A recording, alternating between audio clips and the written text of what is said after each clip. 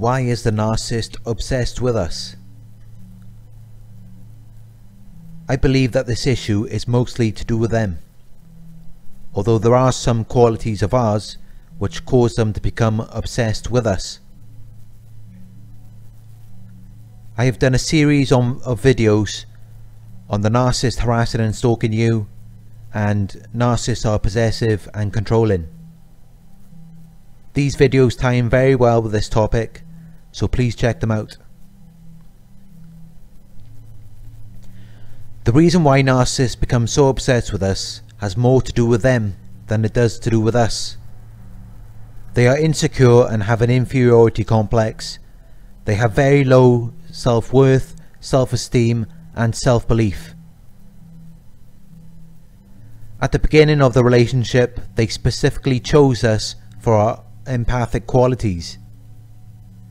In their minds, they were thinking, yes, this person will give me the attention, validation, and approval I crave. This person will make me feel strong and confident. They cannot validate themselves from within. This is why their self-worth, self-esteem and self-belief is so low.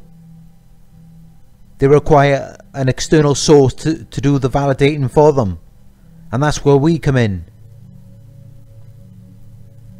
The problem begins when, once we start to see through their bullshit. We realise that they are only with us to obtain narcissistic supply. And once you realise this fact, you are going to find it very difficult to continue validating them. They have got it in for you right from the first narcissistic injury. Once they see that, it's game over. They will never see you the same way ever again. From this first narcissistic injury, they are going to do whatever it takes to destroy you. They become obsessive stalkers, doing everything they can to devalue, humiliate and exploit you. A normal emotionally healthy person does not experience a narcissistic injury. If you do something that hurts or offends them, they will acknowledge this and then want to resolve it with you. The narcissist does not know how to do this. They cannot self-reflect and they cannot resolve anything. They will become bitter and resentful. They will hold a grudge for years and never let it go. The reason for this is because the narcissistic injury creates intense hate, anger and envy within them. They don't know how to deal with their emotions, so they take it out on you again and again for as long as you are around them. They don't know how to stop. They have the maturity of an emotional toddler, so they will react and retaliate in a similar way. They are so competitive and think you are better than them. To the point where there's not enough room for both of you in this life. So now you have to die. You must be destroyed.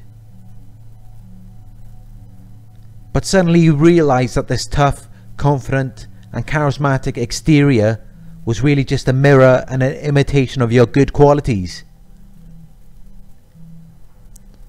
But they don't want you to shine. They want to see you crushed and broken with nothing and no one. Because they are extremely hateful, angry, envious and jealous individuals. They hate your good qualities because they cannot have them. They cannot sustain them for long periods of time. This then makes them very frustrated and resentful towards you. They become envious and try to destroy your good qualities your career, finances, friendships, and any potential relationships. It doesn't matter if they have one of the same things that they are trying to destroy in your life. Because they are always comparing what they have with what you have, and it can never measure up. They always see you as being happier and more fulfilled than they are. They see you as being more motivated and satisfied with your work than them. You have more money, your friends are genuine, your relationship partner is better looking than theirs. Whatever they have, it does not matter. They can never be fulfilled or satisfied with anything in life. No matter how great something is, they will always take it for granted. It's like giving a hundred dollar bill to a toddler. Do you really think that toddler is going to understand and appreciate the value of that $100 bill? No, of course not. They are just going to tear it up and then move on to play with one of their toys. And it's the same thing with a, with a narcissist. I recently did a video on how the narcissist is like an emotional toddler. They cannot be fulfilled or satisfied with anything for long, no matter how great it is.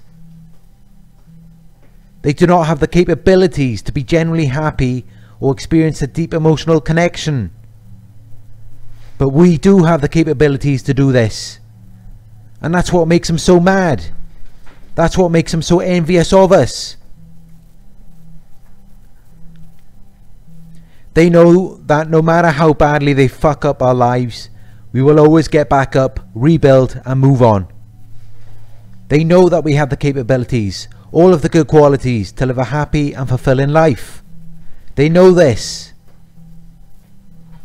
They are also very aware that they do not have the capabilities or good qualities to do this.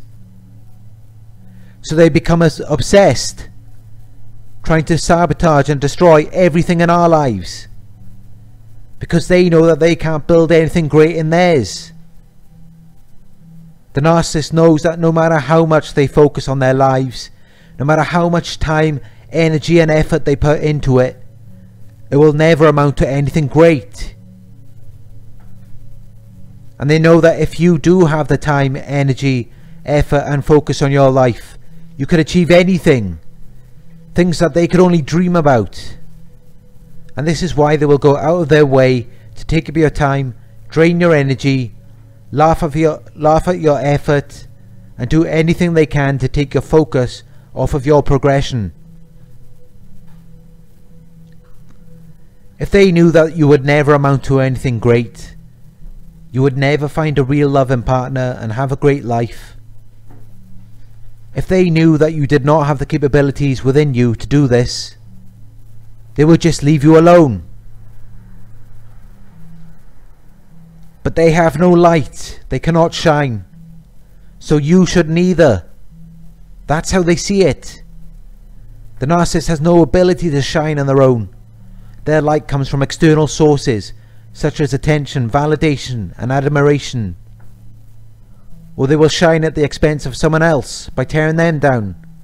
They have to do this because they cannot generate their own light.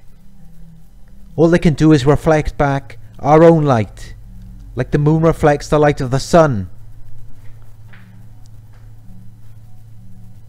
They know that we are different in a good way, and we stand out. It is a reminder to them that they are nothing special, and it triggers their inferiority complex. They will insult you about things that make you unique, anything that makes you attractive in any way. They don't want you to be unique or attractive. You stand out and people see you. Outside of their fly monkeys and controlled environments, people will admire you and validate you as a person. And they know this. That's the whole point of the fly monkeys smear campaigns and controlled environments. To regulate the excessive attention, validation and admiration you would otherwise be receiving. Remember they are very hateful, angry and, envi angry and envious people. They do not want us to shine. They do not want us to be validated and admired. They have seen enough of your good life, positive qualities, hard work and attractive partners in the past. The whole purpose of their obsession and control is that they are trying to prevent this from continuing. They will become obsessed with your past and begin rewriting it. Now you are being told that you never had a good life, positive qualities, you never worked hard or had any attractive partners. Good example of gaslighting. Yes, they want you to see yourself differently. They know that you have deep self-love. They know that you self-validate and approve of yourself. But they want it to stop. And that's why they will become obsessed with you to dig up any dirt they can find anything that makes you undesir undesirable or not good enough. They will do everything they can to project their negative emotions onto you. I am sure you lived a good life and had many good things going on before the narcissist came in and got mad and envious. There is nothing the narcissist hates more. It reminds them that they are not attractive and they are not receiving as much admiration and validation as they would like.